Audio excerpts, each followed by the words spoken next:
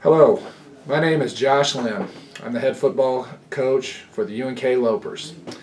I am going to call out Dr. Gilbert Hinga for the pie in the face for the following reasons.